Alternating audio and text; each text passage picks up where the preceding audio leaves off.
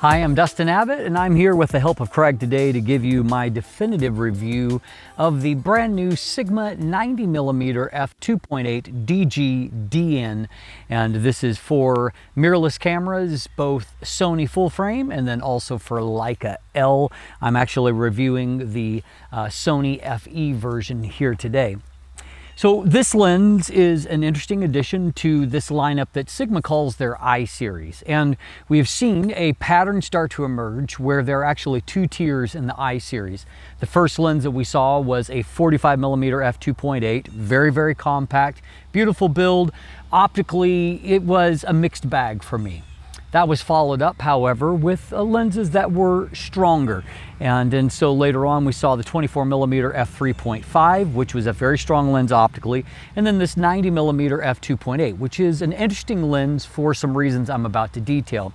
There's also a secondary tier that is a little bit larger in physical size. This 90 millimeter lens, if I take off the lens hood, is a really compact lens, as are all of the first tier of lenses. The second tier are a little bit larger, but they have larger maximum aperture and are arguably a little bit more professional grade because of it. And those include the 24 millimeter f2 that I reviewed last week. Check out that if you missed that. And then also the 35 millimeter and 65 millimeter f2 lenses. All three of those really excellent lenses optically that I personally really liked, each one of them. First of all, though, a word from our sponsor today. Today's episode is brought to you by the Dreame Bot L10, a next generation cleaning robot. We've been using the popular brands of robot vacuums for years, but the Dreame Bot L10 is the first one we've used that actually delivers on the promise of effortless cleaning. The L10 uses LiDAR laser navigation and 3D mapping to actually create an accurate model of the room or rooms to be cleaned. You can see that 3D rendering through the app and then choose how you want the area cleaned, including the ability to designate no go zones. You can also set up detailed cleaning schedules, including start times and power levels. The 4000 Pascal suction is powerful enough for deep cleaning, even on carpet, and you can simultaneously do both wet and dry cleaning of hard surfaces. We've noticed that the L10 is noticeably quieter in operation than our old Roomba. The 5200 mAh battery gives us up to 150 minutes of working time, enough to clean 2,690 square feet, about 250 square meters, or mop 2,152 square feet. Most importantly, however, is the fact that the Dreame Bot L10 actually delivers. Everything is logical and well designed, from attaching the mop water tank to emptying the 570 milliliter dustbin. Obstacle avoidance is noticeably better than previous models I've used, and I rarely hear it bump into anything, even Loki the cat. If you're ready for next level robotic cleaning, check out the DreamBot L10 at this link. So I see that the 90 millimeter is a really addition, uh, interesting addition, and it's for this reason. Uh, I have noted that there have been on Sony, we've been really fortunate to have a number of really excellent uh, compact lenses that are, you know, both strong optically, but also very compact at the same time. The limit on that, of course, has been any kind of really telephoto options. And so the closest that I have to this lens as a comparative is the Samyang uh, 75 millimeter f1.8 autofocus lens, which is a great lens. I really, really love it. But, you know, nothing above that. And so if you wanted a little bit longer of framing, um, you just you really haven't had any options in these really compact type lenses and so i'm really intrigued by the 90 millimeter for that reason this is a great focal length uh, for a lot of reasons and a lot of applications. It's a, it's a nice portrait lens. It's a nice lens if you want a little bit more compression and combined with a, a very usable maximum magnification. It's a nice lens for blurring out backgrounds and getting close no macro lens. I don't want to oversell that aspect, but a very interesting lens for a variety of things. I also think it's an interesting uh, focal length when you put it onto APS-C cameras, which certainly its size and weight makes it a natural fit for, where you have 135 millimeter angle of view with a 1.5 times crop factor. Obviously 135 millimeters is a very popular focal length for a reason. Now there are both pros and cons when you start to get into a longer focal length, and so it's not going to be as natural a, you know, one lens solution. So very likely if you're considering this lens, it's going to be a lens that you're adding to other lenses. But we'll detail a little bit of the how and the why as we move forward. One other final observation that I will make is that I was, the first thing I was reminded of is that when I was first coming on to Sony APS-C, I tried out some of the earliest Sigma DN lenses, and included in those was a 60 millimeter f2.8, which of course when you apply the 1.5 times crop factor is a 90 millimeter, you know, f2.8, or depending on how you look at it, you know, smaller. Um, f2.8 for light gathering, you know, depth of field a little bit smaller than that. That's a whole other complication that I won't dive into today. But that lens was really, really great optically. It was this very small, very compact lens, but it gave you a really interesting angle of view and was a great addition to some of those early DN lenses. They had their limitations, but now we've got a lens that has none of those limitations and is going to be very appealing at its 639 US dollar price tag. So we'll start by taking a look at the build and the handling. These I-series lenses are beautifully made. We'll explore why I say that as we dive in and look a little bit closer. So we'll take a closer look hands-on here. And so first of all, you can see even mounted on an APS-C body that I have just to kind of model the lens here, you can see that this truly is a very compact lens. And on that note, if you want to shoot it on APS-C, it'll give you a nice basically 135 millimeter equivalent angle of view, and obviously that's going to be a very attractive focal length as well. Overall, the lens is 64 millimeters in diameter, giving us a filter size of 55 millimeters here, and it is right under 62 millimeters in overall length, and so very, very compact, and it weighs in at a little under 300 grams, 295 grams, and so this is a lens, obviously, you're going to be able to pack along and not really notice the weight, no problems with that at all. We have nine rounded aperture blades inside, and so it retains a fairly circular shape when it is stopped down. Like other lenses in the I-series, we have got an aperture ring here that has one-third stop uh, detents. You cannot uh, declick it, however, you can switch it into the auto mode here, and if you want to control aperture from within the camera. We also have an AF-MF switch. In this case, it is the traditional horizontal position and not the lateral that we see in some of them. I actually prefer the lateral position just because it fits a little bit better. Here it's a little bit of a tight squeeze with the aperture ring, and so I do prefer that mounted, you know, where the switch operates in this position or this rotation rather than side by side. One thing that is a nice touch here is that when you're in AF mode, it will show white, and when you're in uh, MF mode, it will show black there.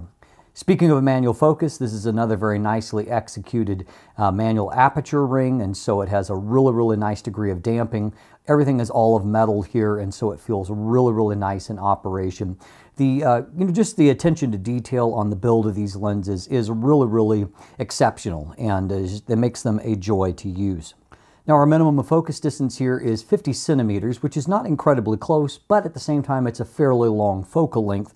And so that gives you a reasonable 1 to 5 magnification ratio or about 0.20 times, which is certainly very useful. Now like other lenses in the I-series, you have the option of using a traditional pinch style cap uh, which I recommend when the lens hood is in place, which we'll talk about in just a moment. There's also the option to use this included magnetic cap, and so it can be a little bit quicker if you're just using the bare lens. It's a nice way of taking it on and off. Um, but as noted, if you have the lens hood in place, and on that note, the lens hood is fairly deep because it's a longer focal length, but again, it's very, very nicely made, all metal, nice ribbed pattern that uh, matches what's going on with the lens itself. But as noted, if you're using the uh, magnetic cap, because the lens hood is deep and because it fits pretty uh, flushly in there, there is not much opportunity to get it loose. And I had to put a fingernail on there and try to break it loose. Not convenient at all. Much more convenient to use a traditional pinch style cap where you can pinch in the center and remove or insert it that way. Now, as far as weather sealing goes, we have a gasket here at the lens mount, which is, of course, is always welcome, but to my knowledge, there is no internal seals inside. And so we have got kind of the bare minimum, but everything else here is really beautifully executed. It's a very nicely made lens. So as you can see, a lot of great stuff here. I, I really think that these lenses are a, a, tactile treat. They really do have a very premium feel to them. And, and so, you know, if you're kind of questioning the price tag, this is, a, this is a serious lens. It just happens to be a very compact lens at the same time. Beyond that, we see that Sigma has continued to refine the autofocus performance that also leaves this lens as a very usable one. Let's detail that for a moment right now. The 90mm f2.8 I-series lens has, like most of Sigma's recent releases on, you know, Sony, Leica, it has a stepping motor. And my experience has been fairly consistent with these lenses that the stepping motor is quiet, it is smooth, and it is quite fast in operation. Obviously with some variability from lens to lens, some configurations are more challenging than others. In this case, you have got a relatively small maximum aperture, and so f2.8 4 prime is not huge, so it doesn't put as much strain on an autofocus system. And byproduct of that is that I find that it works just fine. Um, it works fine for doing my standard kind of focus pulls. And so you can see that the transition between one subject to another is smooth, it's quiet in operation, and there is a nice quick uh, transition without any kind of hunting or settling. However, there were a few situations that I saw in taking stills where I got some false positives on autofocus, which surprised me, particularly when I had my Alpha 1 set on eye detect and I was shooting, um, I had it set on, so our Animal AF. And so I was taking pictures of Loki, you know, just kind of moving around as I like to do. And I found that some of these were consistently front focused. And so obviously, rather than grabbing the eye, it grabbed something in the foreground and in quickly taking the shot, didn't quite nail it. That's fairly rare in my experience these days. And so maybe there are a few places where there could be a little bit of maybe improvements to firmware to make sure that that accuracy is improved a little bit further. That being said though, for most of my shots, I got very good focus accuracy and I have no complaints about them. And also in when it comes to like, for example, tracking my face, uh, when it comes for autofocus, I felt like there was a fairly good job being accomplished, but again, maybe not quite as sticky as the best lenses are in terms of keeping that eye consistently in focus. At the same time, however, because uh, 90 millimeters is quite a useful video lens for this kind of segment, I've actually used this for a number of my segments kind of secretly over the last, you know, three weeks that I've had the lens before pre-release. And so as a byproduct of that, using it and the 24 millimeter f2 side by side, I have found it to be a really good, uh, you know, lens for this kind of like static shot. And it's done a good job of tracking my face without any kind of pulsing or losing it. So, you know, it really kind of depends on the application. Overall, I am, I'm happy with the autofocus. I do think that maybe a firmware update might give it just that little bit extra of edge of performance. But at the end of the day, I mean, we're just light years ahead of where we used to be with autofocus on many lenses like this. So I find it hard to complain because this is a lens that actually performs quite well in most all focus situations. So we're going to check in with Craig for a couple of minutes and uh, kind of pick his brain for his experiences using this lens for video, as well as checking out some of the footage that he was able to capture with it. So I'm here with Craig to get his take on how the 90 millimeter performed for video purposes. So Craig, give me kind of a, a big picture. How did you like using this lens for video capture? So overall, really nice. Uh, as we discussed with the uh, 23 millimeter, um, build quality is incredible.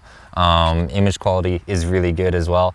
Um, so overall, it's I found it to be a really good lens. There's some differences because um, I was playing around with some cinematic lenses, so I was noticing some things uh, in specific for video that are that are uh, a little bit different. For example, just the teeth on the focus ring, they're a lot less than the cinematic. So to, okay. to come back to this was a little bit different and uh, there's an adjustment to be made there. But I mean, this isn't obviously a cinematic lens. This is, this is for photo. And so for, for all intents and purposes, it's a great lens. Yeah. Yeah. I've kind of felt like they've actually borrowed some design aesthetics from Cine lenses, mm -hmm. particularly the aperture ring being having that raised teeth in there. It almost yeah. looks like it's designed for gearing. However, as you're probably saying, I don't know that the teeth ratio is quite right for an actual gearing. Although mm with uh, a lot of times if you're just clamping something down, it would be just fine for for moving that. But again, yeah. the fact that you can't declick this aperture means that it's not really designed for that for video, you're going to be doing aperture racking, mm-hmm. and it's not really designed for that. Mm-hmm. So, yeah, I think it's a design aesthetic, less maybe of a practical, you know, application for that. Yeah. So uh, let's talk about this focal length in general. Now you're shooting on an A6400, which yes. means that with the 1.5 crop factor, this is behaving more like a 135 millimeter lens. Mm-hmm. Now, obviously, that is a popular focal length, but it's a more it's a less flexible, more specific one. So tell me about that. How is that for your applications? Yeah, so it's it's a bit of a balance. I mean, sometimes it feels like you're just way too far in that you can't handle it and you can't kind of settle it down and, and get a nice uh, bit of video out of it. For example, whenever we went hiking the other day, I was only able to get honestly two usable shots from it, just because it's it's so bouncy. Now, of course, the body that I'm using doesn't have image stabilization, so that's taking a, Yeah. a bit away from me. But if you if you don't have image stabilization, you need to be aware That's of that yeah. because those handheld shots are, are very difficult. You feel like you're way too far in. So uh, today, earlier today, I set it down on a tripod and I felt way more comfortable with it. It was it was much more in its element, sitting on a tripod, stabilized down, and uh, I was able to get some good shots with it. You know, tracking. I had some Canada geese coming in on the water, and I was able to track them, and, and it felt really nice. And then even on a tripod, sometimes you almost whenever you're tracking, if you're tr- tracking birds or something very far away, for example, athletics or something, then sometimes you almost feel like you want a little bit more in. Yeah. But overall, it's, it's kind of that nice hybrid in between. Uh, you can also get some really nice landscape shots.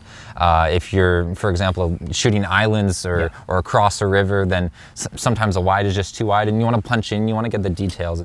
Now, I, I actually look at this lens as being less useful even on a gimbal because a lot of times on a gimbal, if you're you're moving with that, it's actually too tight a framing Yeah. for gimbal work. So it really, to, in my mind, is more of a tripod kind of lens. We've already used this a bit, uh, tried it out some at the church as a good um, r- recording type lens. Yes. And from if you're working at a distance, I would say from 50 to 75 feet. So let's say somewhere in the, you know, the 15 to 25 meter range. Uh, that's it's a good focal length for capturing a speaker, and um, and so I, I see that as being an application, maybe even for churches if they're shooting just kind of like a static shot, either from some fixed video positions or from a, a media booth. This could be a good primary uh, focal length for that. You could augment with with wider shots. Absolutely. I really else. like the framing that it's been giving us as far as it's kind of that medium close up, just head to hip. Yes, and so I think in our uh, the, the current auditorium we're in, we're working at about a 15 meter distance with that. And yeah, I've really liked it. I've Mm-hmm. played with 75 millimeters before. Uh, I actually like this better. It, Yeah. or just that extra 15 millimeters gives a little bit tighter framing, and it makes me feel like I don't need to go back and then crop the footage later, which is useful. Mm-hmm. And obviously, if you're streaming, you may not have that opportunity to do do cropping. And Yes. so you, I, I find that to be a, a nice application for that. Mm-hmm. And so, um, end of the day, this is a lens that's useful as long as you understand. What you're getting into. Yeah, yes. exactly. And it's probably not going to be your only lens for video. You really need to No. augment this with something wider. So, Absolutely. all right, thanks. So obviously there are a lot of positive things to this point, but as always, kind of you know what makes or break a lens often tends to be its actual image quality performance. How good of a lens is it? It's not an inexpensive lens in the kind of bargain sense. It's kind of a mid-price lens. So does it live up to that price tag optically? I think it does. Let me demonstrate to you why. So first of all, we can see that as has been a trend with some recent uh, Sigma telephotos, short telephotos like the 85mm f1.4, there's some significant pincushion distortion that is here. Um, and so, you know, vignette is not terrible, but this distortion is fairly strong, requiring a minus 11 to correct for that distortion. It's fairly linear, so the correction is pretty decent. And then when it comes to the vignette, it was a plus 48, so somewhere between one and a half and one and three quarters stops. Nothing too significant there, no big problem. Now, obviously, we have a nice degree of magnification, but here I wanted to just kind of check out what we're doing in terms of fringing and use that as a, an example here. And so you can see a little bit of purple fringing before the plane of focus, a little bit of green afterward, but it's pretty mild.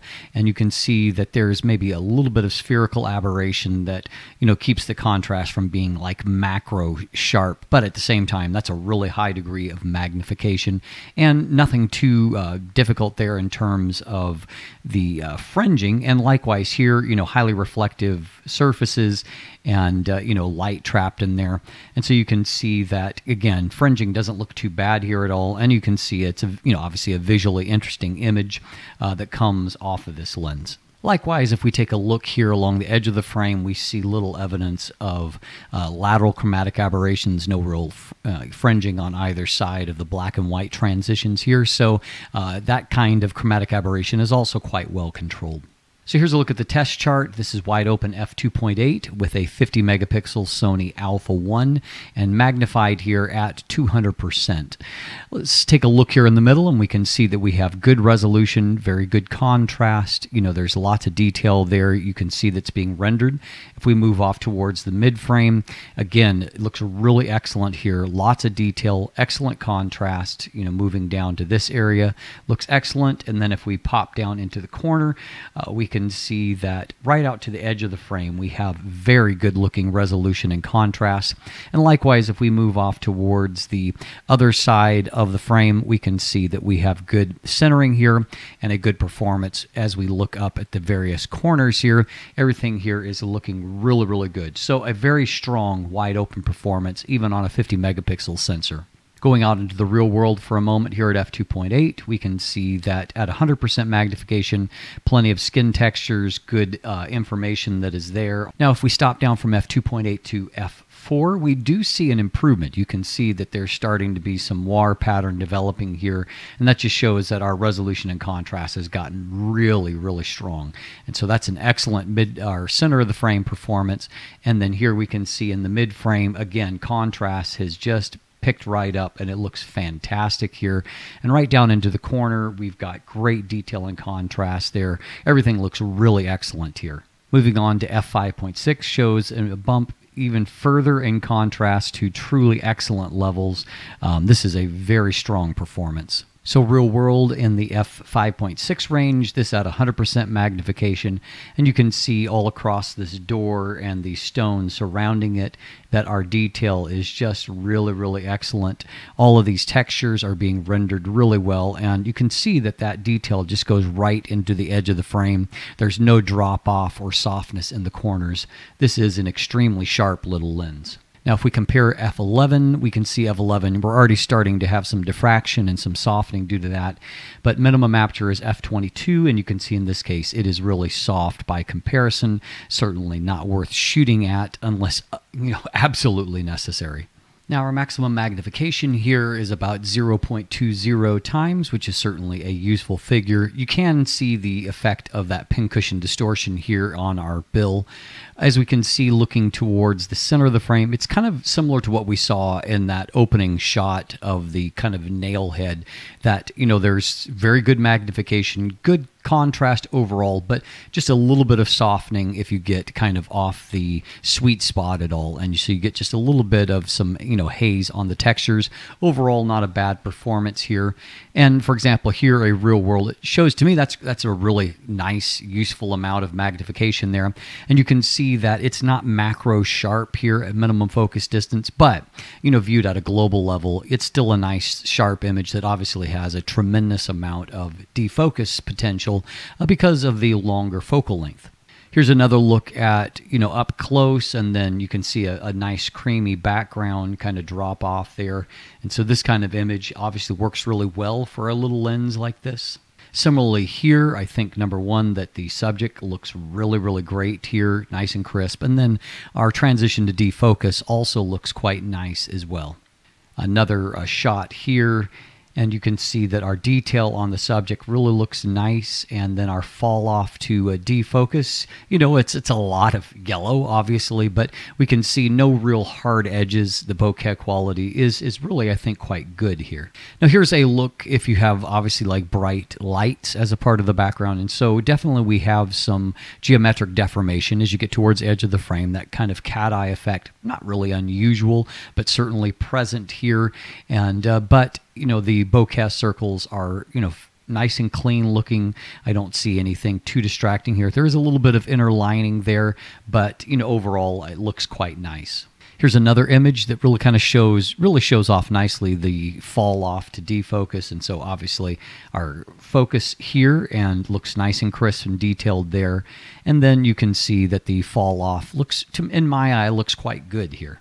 Now we're going to finish off by looking at a few uh, kind of flare type images. And so this lens, it creates actually some fairly artful effects if the uh, sun starts to enter the frame. So we can see here that you know, we've got some defocused area in the foreground and just a little bit of a veiling type effect, but in quite an artful kind of way. With a little bit of recomposition, you can see that I've got a little bit of a ghosting artifact here, but I've, you know, I've improved contrast so you can see from this little video clip the various artifacts as we kind of pan up and down. And so certainly there are a little bit of aberrations due to flare there, but in my eye they tend to be somewhat artful if they are used properly. Overall, a nice optical performance from this little lens. So at the end of the day, this is a lens I think is an intriguing lens for the right photographer. Uh, if you have maybe some other uh, more wide angle lenses and you're interested in having a bit of a longer focal length along, you know, very often to get f2.8 at this focal length, you're relying on, you know, either a macro lens or something like a 70 to 200 millimeter. Either way, you're at a completely different size point as this lens. And so I'm intrigued by it just as a bring along, you know, it's lightweight enough to bring along as an option in a kit when maybe you want a portrait option, a little bit longer a focal length, and obviously it's going to be attractive either on full frame or APS-C for that purpose. And so I see a lot of value to it then. And as from the discussion with Craig, I do think that this is an intriguing lens. If you're shooting in an auditorium and you want just a video lens to capture a speaker, the framing works out quite well in a lot of you know standard size auditoriums uh, for that purpose. And of course, with Sony having the option to maybe jump into Super 35 and giving you that 135 millimeter angle of view uh, is going to frame up your subject even tighter, which obviously can have some value as well. At the end of the day, I think that this is a great addition to the series because it gives you some options, and options like we haven't really seen before in very compact lenses on Sony.